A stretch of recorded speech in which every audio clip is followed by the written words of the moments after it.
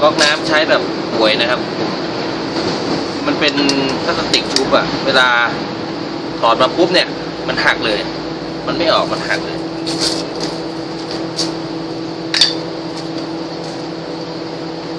มันจะทำให้